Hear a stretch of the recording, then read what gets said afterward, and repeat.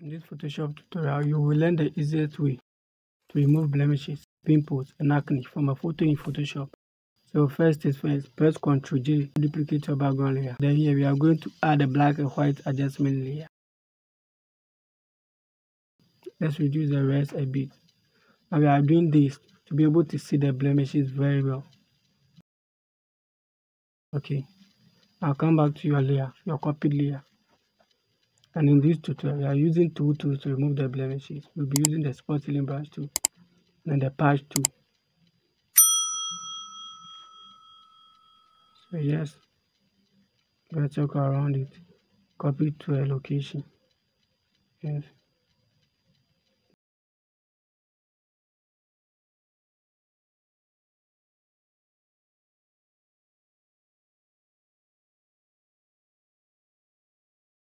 That's what I'm going to be doing.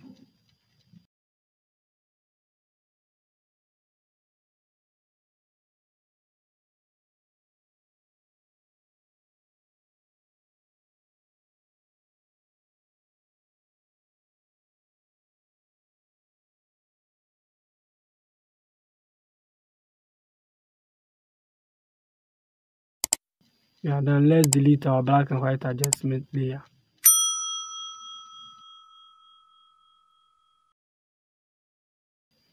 So these are before and then these are after.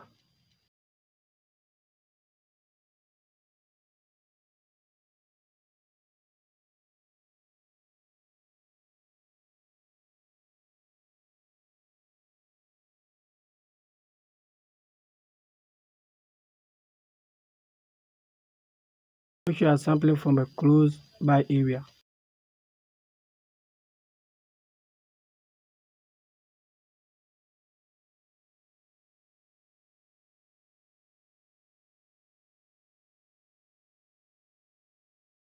Let's use our spot healing brush tool.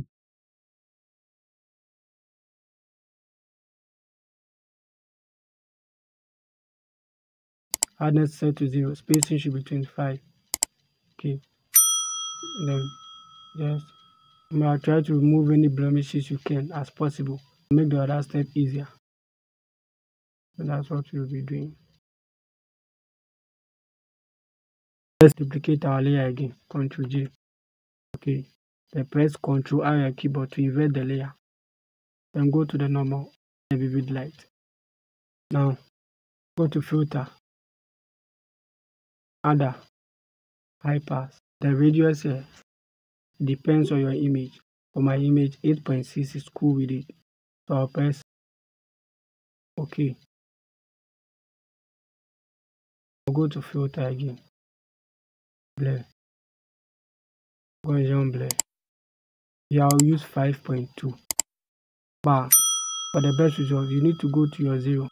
From zero, then you increasing it, increasing it to see which value fits well. And I will use 5.2. Now press OK.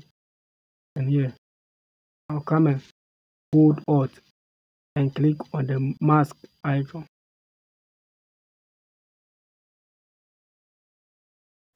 I'll select my brush. Make sure my hardness is set to zero. Now I'm selecting my from brush. Make sure your foreground color set to white. And begin to brush. Begin to brush.